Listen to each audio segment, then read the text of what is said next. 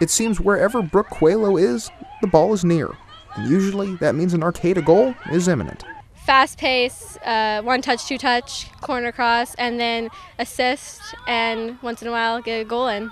Our cameras caught the once in a while occurrence, and while Brooke doesn't describe herself as a goal scorer, her coach says the role she plays is a vital one. Everything that happens for this team, Brooke has a, has a hand in.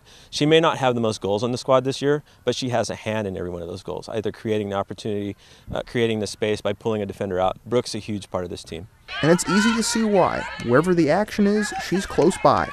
Though her feet dish out assists, Brooke credits another one of her attributes. I think my voice is really loud and it carries because I'm Portuguese, and I like to get the ball most and like give it to people and just do what I do. She's done what she's done, and the result is that Arcata is atop the league standings at the halfway mark of the season. It shows that all the hard work they put in during the week pays off uh, in games. Uh, we talk about finishing, about things we want to do in front of goal, and, and they do it. Brooke shares the last name of a famous author, so does that mean she'll be writing her own novel someday? I don't know. I'm not very good at writing, so probably not.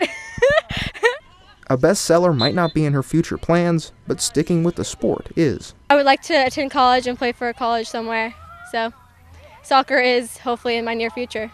In the nearer future, a league title would be nice. And the way it's looking, the Tigers are well on their way. Cameron Cramer, News Channel 3.